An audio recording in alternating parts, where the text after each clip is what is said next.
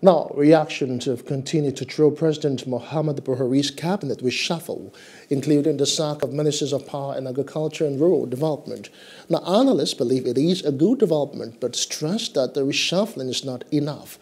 Jacinta Obiuku tells us more. The reshuffling, which the presidency has said would be continuous, is the first of its kind. During his first term between 2015 and 2019, the ministers who left the cabinet resigned on their own. Among them were Kemi Adeosun, former finance minister who was involved in a certificate scandal, and Amina Mohammed, former environment minister who got a United Nations job.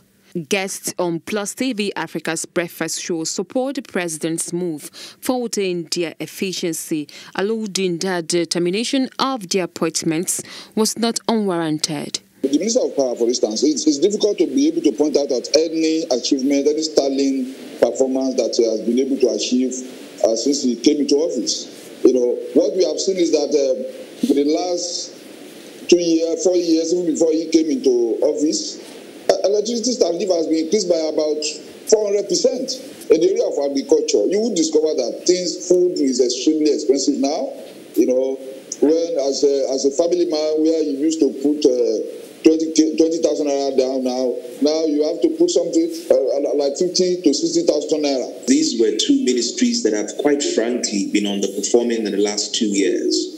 Now, if you talk about the agricultural sector, um, you know, Mr. Adebayo alluded to the fact that food prices have been skyrocketing.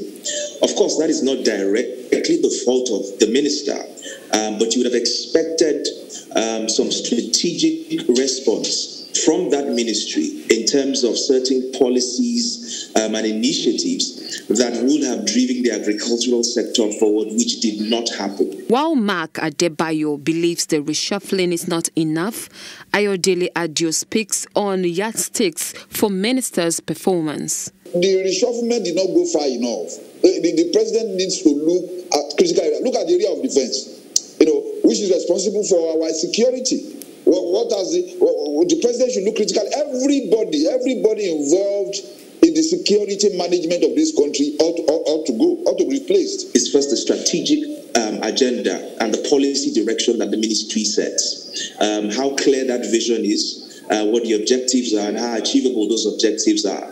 It is hoped that the sacked minister's replacements will result in better results and efficiency.